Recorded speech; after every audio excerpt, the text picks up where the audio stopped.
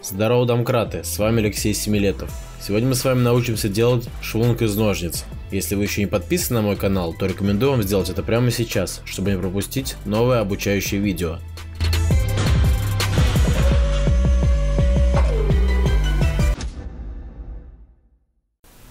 Швунг из ножниц формирует устойчивое положение во время толчка с груди в ножницы.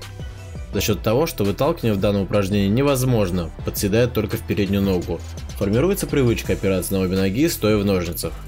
Плюс ко всему, выполняя регулярно данное упражнение, атлет сам для себя подбирает наиболее удобную ширину разброса ног и тренирует автоматизм в разбросе ног в ножницы. Рассмотрим технику выполнения данного упражнения. Совершив толчок в ножницы, замрите на несколько секунд. Затем аккуратно опустите штангу на грудь, не выходя из ножниц. Сфиксируйте данное положение. Если нужно, поправьте ноги или сделайте разножку более узкой, если стоять слишком неудобно. Проверьте, чтобы ножницы отвечали минимальным техническим требованиям. Ноги не находились на одной прямой друг за другом, а были на диагонали. Задняя нога стояла на носке с развернутой наружу пяткой. Корпус стоит ровно, таз сзади. Вдохнув, расправьте широчайшие и совершите плавный полуподсет в обе ноги, не наклоняя корпус.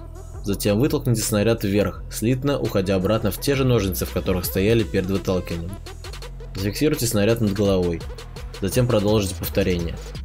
Закончив последнее повторение, соберите ноги из ножниц, начиная с передней, вытягиваясь вверх. Новичкам я рекомендую выполнять данное упражнение с небольшим весом, а то и вовсе с грифом, делая акцент на формирование правильных удобных ножниц, выполняя по 5 повторений в 4 рабочих подходах. Благодарю вас за внимание, друзья. Всем желаю здоровья, удачи и новых рекордов.